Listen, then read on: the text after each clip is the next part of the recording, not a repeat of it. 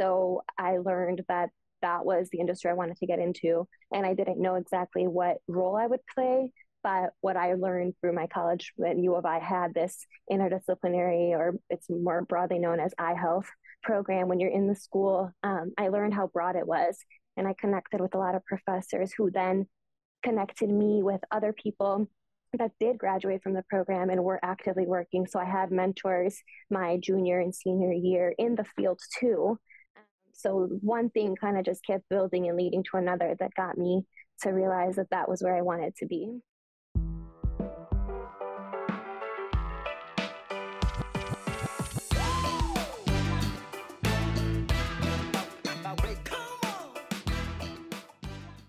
Welcome to the show. Thank you for listening. And don't forget to share these shows with your friends. We're here to help everybody figure out what their career is. And today we have Nevena Milosevic on the show who's going to talk about being a healthcare concierge. Probably don't know what that is. She's going to get into paths into healthcare outside of being a practitioner. And there are quite a few of them. She's going to talk about process to achievement in your next step and she's going to talk about how to ID and utilize the resources around you that are prevalent. She's going to get into how she did it. Welcome to the show and welcome to the Edge of Excellence. Nevena, thank you so much for making time to come and share your insight and experience on the Edge of Excellence today. Thank you for having me, Matt. It's really exciting to be here today.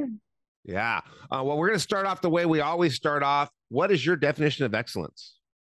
I would say that my definition of excellence would be when people realize that whatever goal that they're trying to achieve in life is really in their possession and they take ownership and control over their life. Um, and it's really tied to recognizing that again, the whatever you are envisioning in your mind, um, when you have that vision and you put in toward actions that you are, you know, being very deliberate and intentional about, um, that's really creating, you know, your dream life and whatever you are leveling up for yourself. So I think that when people have that mindset and take accountability for their lives, they they are at that excellence because at the end of the day, we're going to be growing and evolving throughout all of time. And once we realize that potential within ourselves, you know, we we can do and achieve anything that we desire. So you have a goal that I, I am assuming it's got to be a big goal that you've had for a long time. And goals do change and you know there's a podcast on goal setting that people can look up in the beginning goals mm-hmm. change mm-hmm. and your values your values don't usually change too much but they become clear your goals change hopefully because you realize that you have more t- potential but sometimes they get ratcheted down but excellence i'm assuming you have to have some goal you've had for a while that you know is tied to your values that is important to you and that you're striving to. And then if you have this deliberate action tied to that, you take control, don't get distracted, you achieve excellence. Yeah. Did I capture it? I think you capture it on. All right. That's a, I'm going to have to think more about that one as we move on. Well, I'm going to dive into what you do because you have an, first of all, you have an interesting major, one of the first people, interdisciplinary healthcare major. That's an interesting major. You went into healthcare consulting, which maybe a lot of people don't know what that is. And then you moved into management and leadership in healthcare consulting. So, what is a healthcare consultant? What do you do? And what sort of majors would people have in college that would help them get into that industry? Yeah, so that's a good question. Um, there are actually two different uh, aspects of like healthcare consulting that you can get into. One is a little bit more on like the business side of it. So if you're working for a more like like a larger corporation or for hospitals, um, you get into that side of it. But the other aspect is actually working with patients and patient advocacy. So that was my experience. So the first job that I got out of college was more a focus on being like the patient advocate and a consultant to them. So the company I worked for, they obviously they had other employees. One of our clients was EY, for example. Walgreens was one of the clients that I worked on, but I didn't work with too much of the executives, I worked with the patients hand on. And so I was an advocate for them for their healthcare benefits, um, helping them understand, you know, the whole intricacies of the market, um, whether it be, you know, their benefits financially and working in billing, whether it be for insurance inquiries, whether it be for just their whole health, like holistic uh, experience and trying to get set up with even like primary care physicians. It's just healthcare in the US can be very complicating. And so my goal was to make it, you know, be a part of the solution and be able to get people to understand, you know, how to, you know, maneuver the market so that they, you know, wind up having their own they can be accountable and they can also take ownership over their own care rather than getting confused in the whole system. So that was my first exposure into it sounds like this is a industry on either side. You're working with the hospital, I assume, dealing with the hospital's patient uh, patients on the patient side as well. If you're a healthcare consultant. Yes. So the first part wasn't actually it was more so because every you know when you go into work you wind up having each all of our employers they give you healthcare insurance usually that's the largest employers are the ones that give you insurance. And so many people, they, you know, sign up for a health plan and benefits, but they don't really know how to utilize like their insurance or how to go with okay. a provider in their network. So it was more so for the ones that were just, you know, for anybody, regardless of where they worked and they, where they were insured. We worked with their companies and their employees. That was my first exposure. The second half is the hospital. So, first of all, it sounds to me like in your role working as a patient advocate, the patient advocate side of the healthcare consulting, um, you have to enjoy leadership through conversation. You said that you help them navigate, but you also said um, help them become accountable and help them take ownership. So this sounds like really solid communication skills, experience with communication um, needed to go into that sort of role. And it looks like someone that's going to thrive in leadership through conversation. That the type of experience is that a big part of your job? That was, yes, that was a huge part because within that role, it was so much interaction on a daily basis with patients themselves. So, learning, you know, how to connect with that person, learning what their, you know, what their questions are, what their concerns are. And when you're the one with that knowledge and expertise, you have to learn, you know, what questions, what are they actually asking, and knowing how to deliver that in a way that's digestible for the, you know, the patient or the consumer in that perspective. All right. So, someone that wants to go into healthcare consulting, and we'll, we'll just start off with this communication skills piece and get into it deeper later. What sort of majors are they in in, in uh, college? And they're going straight into healthcare consultant out of college if they have the right experience? Yes. It's funny because when I worked uh, at that first job as a healthcare consultant, I worked with the people with a vast variety of um, degrees. So many people were, did have healthcare degrees. Some even had masters actually, but it was like what if some of them were more like healthcare administration, community, you know, healthcare. There's a lot of different healthcare majors you can get into. Um, depending upon the college that you're in. So there were a lot of those. There were even people that were a bit more science based, like, you know, biology, chemistry as their background. But I did also see people that were you know, business majors themselves, even whether it be, you know, econ and, um, you know, whatever, honestly, all majors. But I would say the ones that I saw thrive in it were a bit more focused within that, within the healthcare industry and having that mindset while you're in college and driving that factor. But it was one of those roles where you could you could also be from a very different background and again a bit more biology based or anything like that because at the end of the day what really mattered within success in that role because it was so off the bat was you know your purpose and mission for what you're trying to do uh, going into consulting and also just having that knowledge of building those relationships and obviously a little bit of you know analytical skill sets because you're going to be working with you know a little bit of numbers and things like that there. But a lot of it you do learn on spot and you know when you're on the job directly so in terms of your major you know you can be flexible with it but i would say the success does come when you do have a bit of that clarity that that is something that you want to go into so you, your major will align towards that Oh, well, let's get into how you became clear. So let's go back. We're going to back up. You got into uh, healthcare consulting. You moved over to care continuity. And by the way, if you want to find uh, Nevena, she's on LinkedIn. It's uh, N E V E N A dash M I L O S E V I C dash Texas. dash Texas. Uh, you can find her on yeah. LinkedIn and uh, care continuityprogram.com is the company. So you, you went from healthcare um, consulting to healthcare consulting management. You got into this new cool company, which we'll talk about in a second. But way before that, way before that, you're out in Morton High School in West Berwyn in the famous Chicagoland. What was life like in high school? What were you doing? Were you trying to get ahead? Were you trying to set yourself apart? Were you just cruising? What was up? Oh my gosh, I was such a tryhard in high school.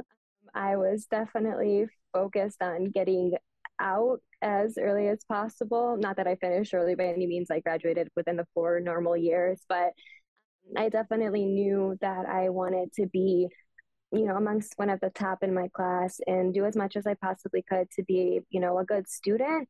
But even from that age, I knew that there was more to success um, at that time, which in my mind at that moment in life, ever since I started, you know, high school, was going to college. So I knew that what colleges were looking for was a you know a diverse student. So not only good at academics but also you know are you involved involved in your community and in sports? Are you trying to do things for yourself to build your leadership?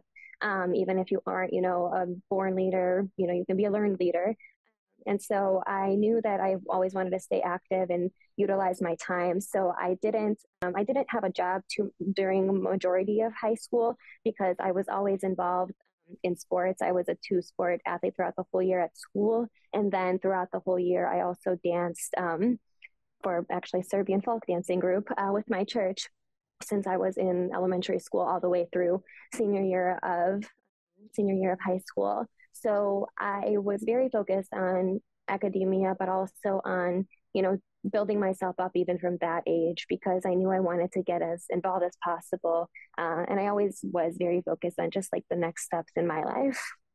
so you're so early and and if you're listening right now in high school, you weren't this way. And by the way, this weekend is the busiest weekend of the year for me. It's college apps are due on Monday weekend, and I help uh, my kids' friends and my friends' kids with their college apps. So I've got all these girls raiding into my house this weekend to have their essays proofed and uh, ready. And some of them thought strategically long ago, and they've been preparing.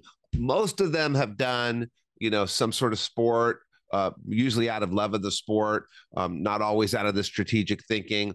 Um, they've gotten involved in something usually out of the strategic thinking. So you're strategically thinking in high school of the next step.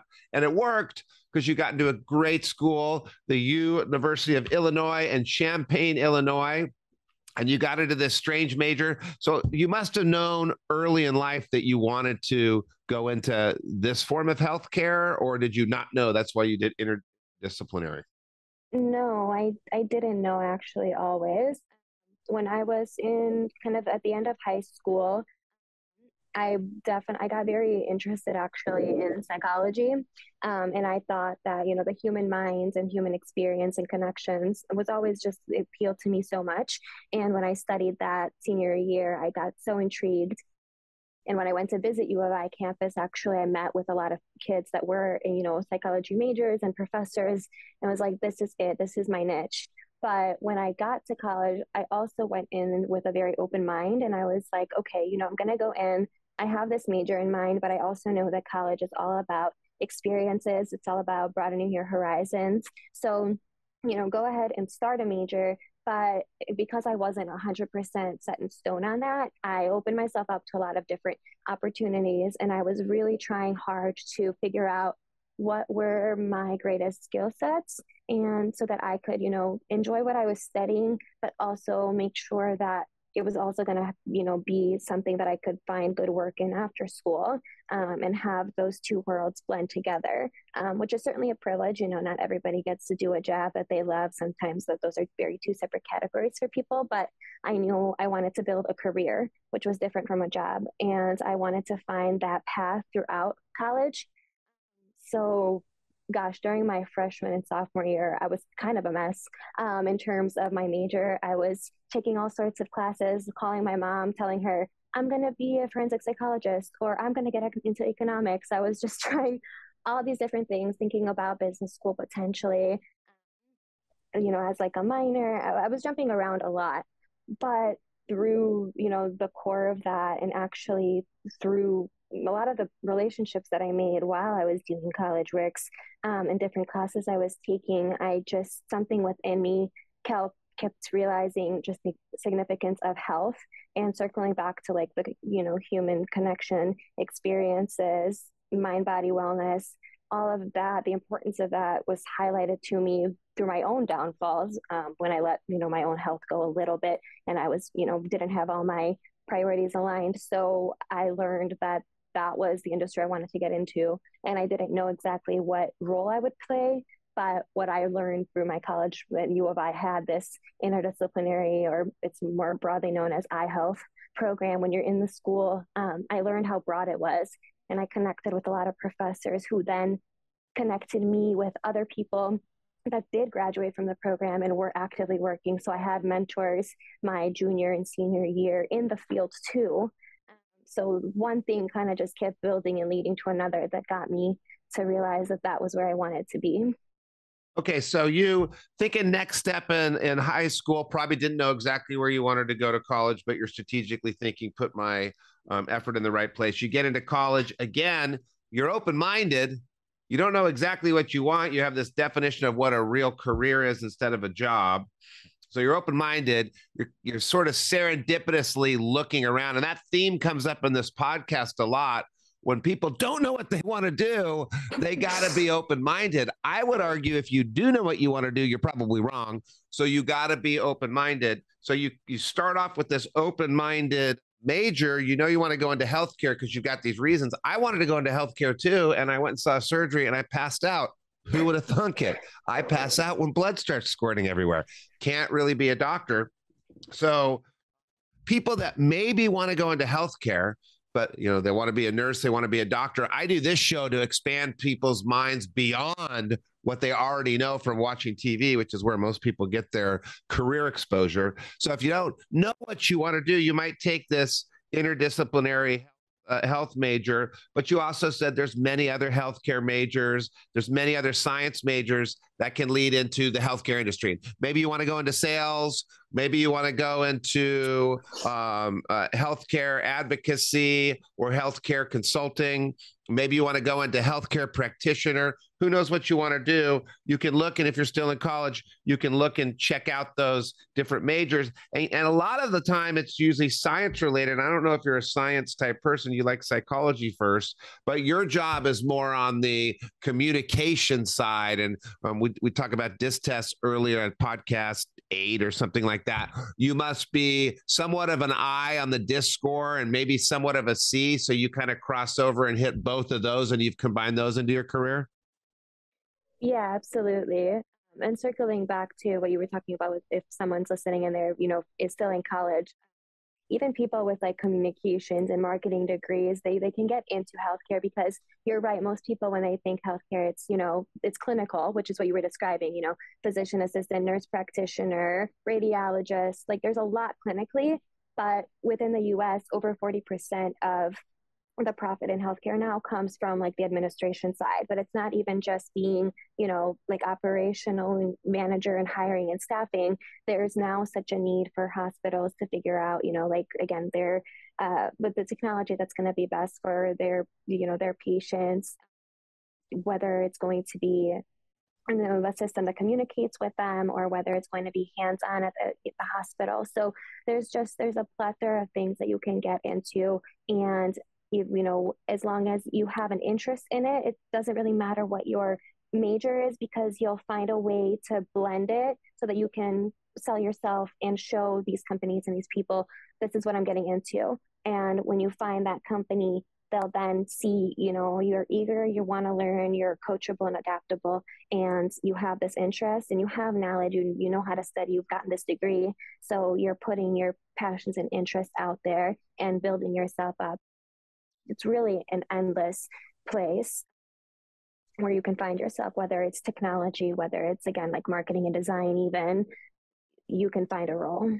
Okay, so healthcare has a lot of options for a lot of different types of person behavioral patterns and a lot of different majors. You went into this healthcare consulting in college, though. You're you're kind of honing in. You start off broad. What sort of things were you doing in college? I know you did the College Works thing. What else did you do besides College Works to figure it out and to hone in? Um, so one of the things that I did when I was getting into um, when I got, well, College Works really was a very huge part of my life because I started in college um, and I started that uh, my freshman year. So, second semester, freshman year, all the way through uh, junior year because I did the branch manager, rookie DM, and then I started off a second DM year for myself. And so I built a lot of relationships and connections there. And I found my circle. I found the people that I was closest aligned to, like minded, that then helped me like open up and broaden my own horizons and kind of find myself. So when I wasn't, you know, working there, um, I was starting to build other health habits for myself. Um, you know, working out and meeting people at social events at, at college you know, not just the parties, but even, you know, like going to the rec and random sports and stuff. You just, you join and you start off and, and you do these things in clubs and met some people there. But where I really found myself figuring out my major was through connecting with professors actually so it sounds super cheesy probably but i really was that student that would sometimes go if i liked a professor i would go to their office hours and just chat with them and one of the professors, you know, I I thank myself for this every not every day, but when I look back, um, I'm very thankful for it. I connected with her and told her, you know, I want to do healthcare, but I don't want to do what a lot of the kids in my major are doing. Like, I don't want to do physical therapy, occupational therapy, or PA. I want to get into this other side that I know exists, but I don't know how to get there. And she then had a previous student that majored. Um, his name was Hashim, and he was already a few years into it. He worked on the EMR side, which was electronic medical records, and worked for a big company called Cerner. And so through connecting with him, then then somebody that was already in the field, he helped me see what life was going to be like after graduation. And so I had a mentor then that was actively in the field of what I saw myself doing and helping put the pieces of the puzzle together for myself. So lots of putting yourself out there, lots of trying you know, there were things that I did where I tried out for like a fraternity, a business one at U of I, but I didn't get into it. Ironically, I wasn't accepted um, and stuff. So, you know, lots of trial and error during college, I'd say, to really help find myself. So you use one of my favorite words, but I think you used it incorrectly. Cheesy. I, I love the use of the word cheesy, but it does not sound cheesy. And it's funny that you say that because you know when you're in high school, I think about this all the time because I have a daughter who's graduated from high school. It's just so the so not the real world. What is cool and um, what people want to emulate, especially now and reading all these essays. It's just so amazing what high school kids have gone through. And it's not COVID. I'm talking about the mental health issues mm-hmm. that they've been exposed to and the challenges. They've, I'm just blown away by how difficult it is.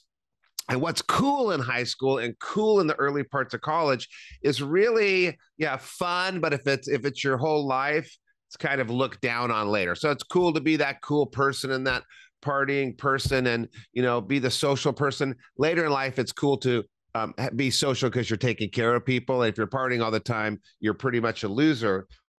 So it's not cheesy at all to people that are excellent. It's not cheesy at all to use your resources. So and you think about the resources um, professors. Huh, let's see. Why would I want to be a professor?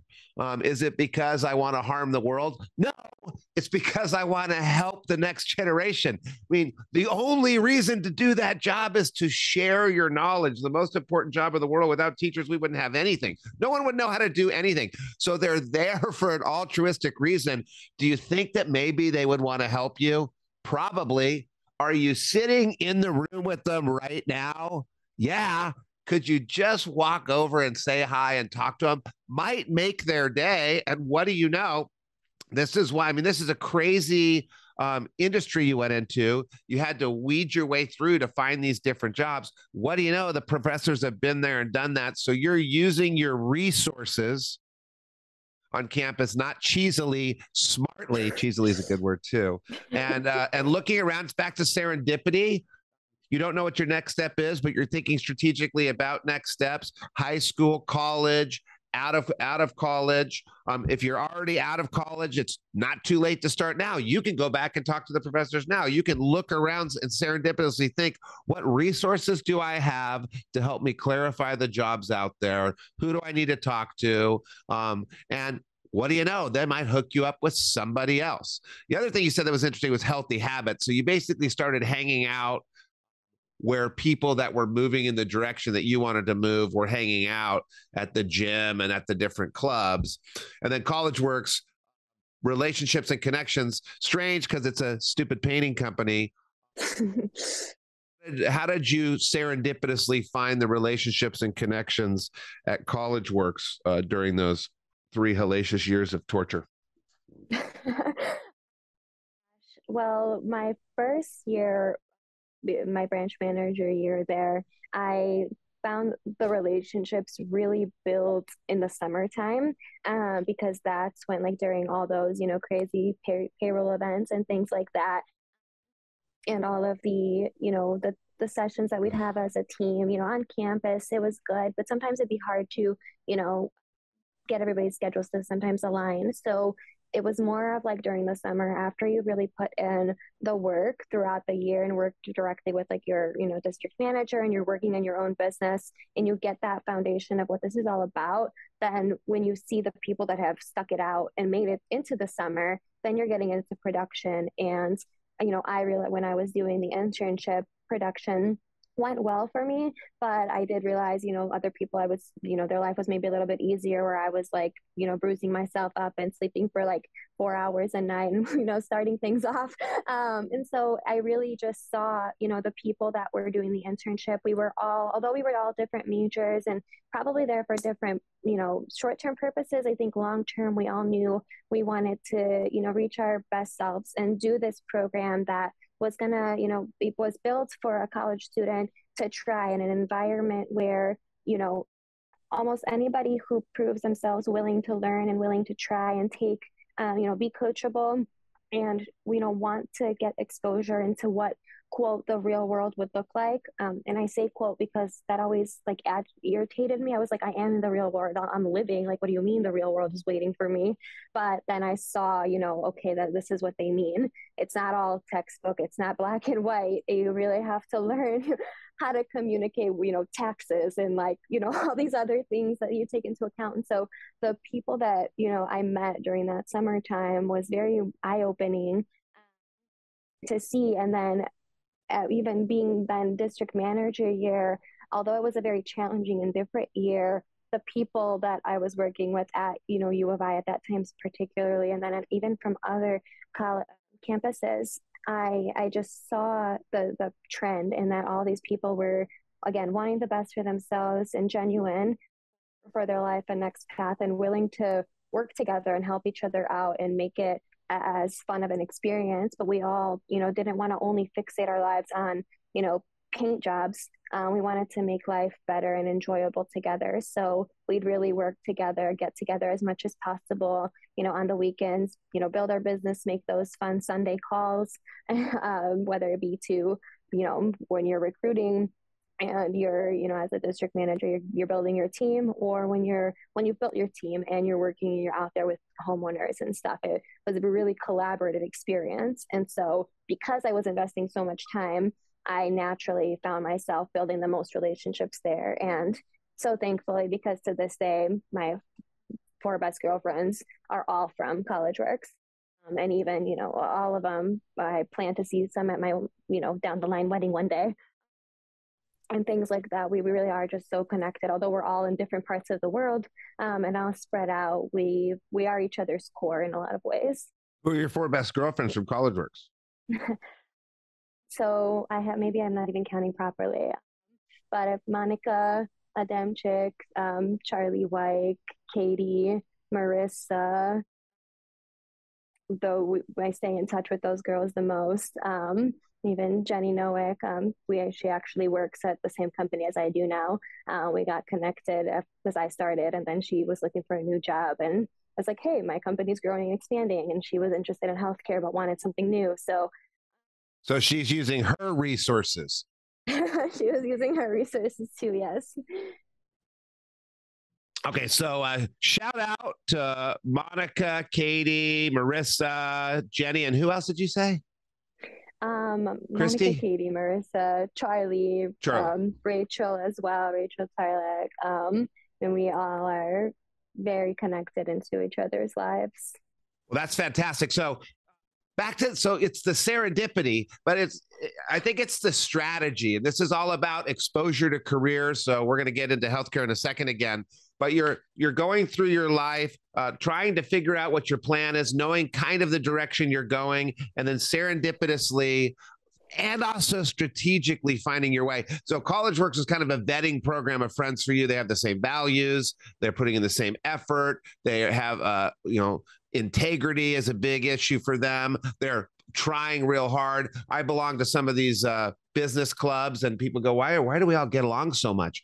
Well, because you got to get into the thing. You got to go through an interview process. You're vetting your values. So College Works is like an interview process. Well, there is an interview process, and then a mm-hmm. vetting process for friends. And you know, it's amazing that people create these business partnerships and stay together so long. Unfortunately, College Works isn't offered outside of the Midwest anymore. So other people, if you're in college, can look at different internships, but the hardness of it, the difficulty of it, the demanding of it, not only does it really help you with your resume because you get to run a business and do all the stuff that you never get to do, it's a better vet for your social group. It's a be- better vetting for the employers, but it's a better vetting for your social group. So you you're in college, you're working all three years. Oh my God, how do you do that? Um, setting yourself apart. You come out of college, so you had a lot more experience than most people do, and got into healthcare consulting immediately. If people hadn't done, you know, all the hard work that you did, um, they would go into what before they became a healthcare consultant? Oh gosh, um, I mean, I see a lot of people, you know, it depends. Um, I, a lot of people that didn't, you know, not necessarily only just do college works, but maybe didn't take the initiative in college period to kind of do things to step out of their comfort zone and yeah. try and connect and, you know, any type of work, any organization that you kind of put yourself into, I think if you're putting in that again that energy and intention behind it, you're going to get something out of it that you know is worthwhile. So if you don't do that, um, you might n- not get a very fun or good job or as much as you think that your degree was actually worth. Um, so maybe you do, you know, you don't even go into like a corporate job, and that, that that's necessarily like the definition of success by any means whatsoever but it is kind of the trajectory of where you know most kids do start forget that initial exposure and then once you go into like a bigger company then you it gives you like a little bit of you know an eyeball of where you're going to what exists and what's out there. And when you go from you know some experiences in college and then you go into that world you can blend those two things and decide for yourself do i want to stay and quote move up that ladder? Or do i maybe want to you know go back and build something for myself or go smaller and work with a startup or you know give yourself that flexibility and autonomy? And i think if you don't do things for yourself while you're in college and you do choose the college path it's like what's your purpose? Because when you get out you're going to be lost all over again you're going to and you'll end up you know i don't think any job is like a bad job but i think that if you want something where you're putting the degree that you took four years of your life to get to become, you know, something valuable um, and that you can grow with and build a career from, that that is a little bit more of, you know, again, if you're intentional behind that, where you'll be happier with yourself and with your results. So, yeah, I mean, you talk about your definition of excellence. The, the goal is in your possession. You have this great career, this dream job, this wonderful life because you had ownership and control through life and you had this deliberate action. And so, you know, this is a great, a great message for, for people starting off college. And I run into people that went through college and they didn't quite get the message. And, you know, they didn't have a parent or somebody telling them, they just went through the motions and they figure it out later. What are some entry level positions for people that may have had these same majors that may want to get into consulting, but just don't have any experience yet. They just figured it out today. They listen to the podcast. They want to get on the train to excellence. Um, they were screwing around, partying too much in college, and, and missed a few years of internships. What could they do for a couple years that would lead them into this consulting role, this communication role, this leadership role? What sort of leadership experiences and, and things could they get as entry level jobs leading there? Entry level, you know, focusing in on like the healthcare field specifically, I mean, there's always roles of, you know, being like, you know, a, a, concierge and working for a company because actually that my company does have that side of it where it's like it's the concierge so that's who i manage. So um, you know the concierge role you're doing a little bit more working like you know with offices and scheduling and doing um, you know the care navigation side of things for patients. And so it gives you like that leg into you know you're in the field but you're you know you don't necessarily maybe have all of like the people skills. You don't have the um, ability so you haven't had the exposure to lead as much. And so you need that leg in so that is one way getting into that. Anything regarding like working at like a clinic at the front off you know front desk for example you get in and you start working with the, those people you're going to start to if you're at you know again intentional behind it you're going to learn from them you're going to learn how insurances work you're going to learn how the clinic runs itself and then you start paying attention to how other offices do their things and then you might you know say i rather than clinical i want to do something work at a hospital and so you can start the same way Okay. Start really basic and entry level there. Okay, so you were purposeful and directed in college and did this crazy stuff to get yourself the leadership skills. If you haven't, you're listening right now, it's not too late. You just got some ideas. You came straight out, went into skip the concierge role, went into the consultant role. Now you're in the leadership and management role. What's a day in the life like? What are you doing in your role now? Um, so my company now switched from, you know, when I started with the light, they were a larger corporation. Work with care continuity is still within, you know, they've been around for about like seven years. So in the business world, it's still relatively a bit of like a startup and they're growing a lot. And so being a program manager at the company now exposes me to actually wear a lot of different hats. And so my day to day looks really different actually daily. It's all about, you know, because of the company, it's uh, it functions to help the emergency departments at hospitals and navigating their patients, particularly from the the emergency room and aftercare from that. And so sometimes, you know, it's looking at what happened the previous day and what do we need to do today to cap based on the volume. Sometimes it's working and coaching the concierges directly um, so that they do better with the patient interaction. Sometimes it is now that I, I am involved more in the hospital executive meetings inside of things. So it's working with their, their leadership team. Sometimes it's working with offices. So it really is a lot of different, you know, things that you're juggling and balancing on a daily basis. But I enjoy that because I'm not the type of person that likes to just sit at a desk and do the same task on a day to day basis. Um, I like to always try and be, you know, growing and expanding myself. So it's nice to have been there, you know, over like a year now on my end and see like a, a little bit of a routine for some things uh, within healthcare because it's such a growing field in general. Um, really having to stay very uh, purposeful every day and on top of what's happening and changes in the whole industry so that our company can always stay on top um, of the market and, and, its needs. So it's constantly changing for me. So it sounds like uh, just your whole attitude aligns perfectly with a role in this seven year startup business. And you had the big corporate job. And by the way, if you're listening and you're in your car and you're on 1.5 speed, I sound, first of all, I sound way better on 1.5 speed. Second of all, big to small is easier than small to big when you come out of college. So, you know, our company, CollegeWorks, real small company, but we're training people with skills that go into other companies. So I'm not talking about that. I'm not talking about the internships. I'm talking about if you want to work in a big corporation one day, which I don't want to do, uh, you start there and then you move to a smaller mm-hmm. smaller company. It's much easier than starting small and going big. You started big and then decided to go into this small startup. And it sounds like it's a perfect fit for you. And, and you think, look at this discussion today, thinking about the next step, thinking strategically, being open minded, um, serendipity, all of a sudden you got to wear a bunch of different hats. Well, you better be open minded. You better be flexible you better have some experiences that are weird, like uh, being a district manager and all that stuff you've done. Um, you better be looking for the the next flower and the next opportunity. So you found something that's kind of a perfect fit, and it's perfect fit for you. It may not be perfect for someone else listening right now, but how did you decide between big and small, and how did you figure out this perfect fit?